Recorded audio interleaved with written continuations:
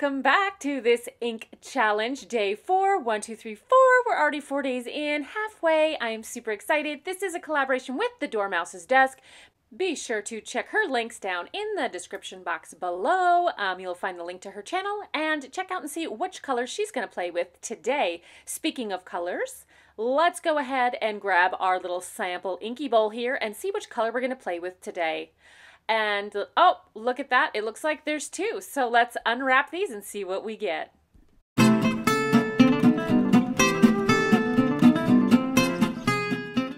All right, it looks like we've got a Pilot 100th Anniversary Fuku Rokuju, gosh, I hope I said that right, and then Laban Poseidon Green, so kind of bluish greens today. Let's get swatching. We're going to start off first with the Laban uh, Poseidon Green. I hope I'm saying that right. Sometimes I feel like I just totally butcher names, but you know what? I'm doing the best I can. So that's what we're going to go with. Um, this is a beautiful, kind of like a tealish green. Uh, reminds me, like totally like you would think Poseidon and oceany colors. Um, yeah, so I'm excited to see how this one uh, swatches out and how it dries. It's a really beautiful shade, and I have a couple friends who I think would totally love this color like oodles and tons. All right, so let's go ahead and set that off to the side. We will bring in our Mnemosyne pad and let's go ahead and get this on there as well. Kind of interesting how it's going on there. It's like pooling in the middle. Um, yeah, I'm liking the colors that we have so far. Even though it's another bluish color, it's totally different from the cobalt. Um, here it is on the Rhodia. Again, it's sort of like pooling in a very strange place. I always love seeing how the inks go onto the paper um, and then how they dry. So that's kind of why I do this in the beginning. I know I've had a couple people say, I don't really care about the swatches, I just want to watch the artwork. But there are those out there of us who totally geek out over um, the swatches. So let's go ahead and jump into this Pilot 100th anniversary um, again, I'll probably butcher the name, so I don't. Do I? Should I even attempt to try and say it? Fukuro Kuju. There we go. Okay, that is my attempt. Loving this green. It's like a bluish green, um, more towards the green side than the last ink that we had, and I can't wait to see how it dries. It's interesting that these two got stuck together because they're so close in color. I have absolutely no idea how I'm going to paint with these today, but let's just finish up the swatching. So let's break out our Mnemosyne pad again, and we'll go ahead and lay that down. You can see when they're right next to each other, it's a lot more green, um, but in the on the swatch card, it looked kind of bluish green. Here it is on the Rhodia. We'll just paint out that swatch. Again, so weird how it goes onto that paper, just kind of pools in one area. Um, so really looking forward to see how they dry. And then lastly, I'll carefully not smudge the ink above it, but here it is on the Tomoe River paper. And this is 52 GSM. Um, in case you haven't been watching the series up to this point. So let's grab some tea and check back in a few. And we're back. Here we go. We've got them both side by side. They are a beautiful combination of colors together. Not sure how we're going to paint with them again, but you can really see both of them have that green. Um, you can see some of the kind of greenish uh, shading in there and then uh, the blue in the pilot as well. So it'll be interesting to see what the chromatographies look like. But first, let's see how they dried on the papers. Here they are on the Mnemosyne pad. Um, a lot more shading on the green versus the blue. And then the backside, it did bleed through. But again, I put the swatches on pretty heavy. Here it is. There's a bit more shading in the Poseidon in this one. Um, and then a lot of shading in the uh, pilot and no bleed through, which is lovely. And then last we have the Tomoe River. You can see how they both dried. Lots of uh, fun shading there, so that'll be good to paint with. And then this is interesting. On the back side, they, they flipped. It's like the color that bled through was the opposite color of the front. So it's like blue, uh, or it's like green on the Poseidon, and then blue on the Pilot, which is very interesting. Again, here is the uh, chromatography. So the only difference is just some green like yellowish green in that uh, pilot one. Other than that, it's like we're going to be painting with the same color. I'm kind of, I don't know about this universe. I don't know about this. So let's just jump right into it and get inky.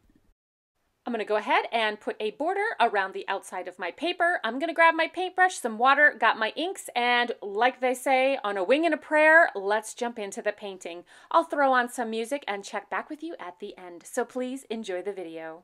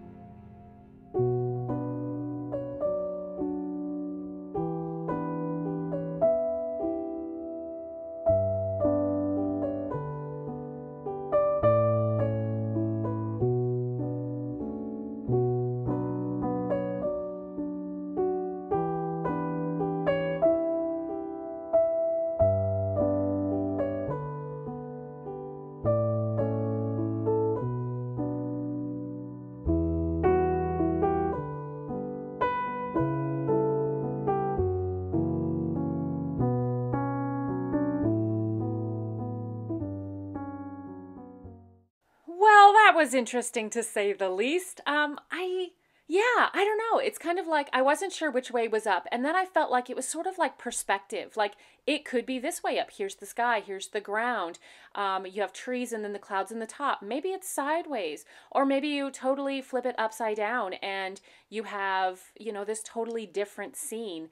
Um, I think the inks played really well together. I liked that. It just was one of those indecision days where I it just felt like I couldn't make the right decision. And then I was like, you know what? Maybe I don't have to make a decision and maybe that's the point of today's painting. So I just added some simple pen borders and a quote about perspective. What you see depends not only on what you look at, but also where you look from. And I just thought that that was perfect. Sometimes the universe speaks and I listen. I don't have to choose a side. I can stay happily in the middle, bring both of those halves of our hearts together, um, see each other's perspectives, and, you know, have grace and compassion for one another no matter what. So there we go. That's the end. Thank you guys for hanging out with me today. And until tomorrow, happy creating.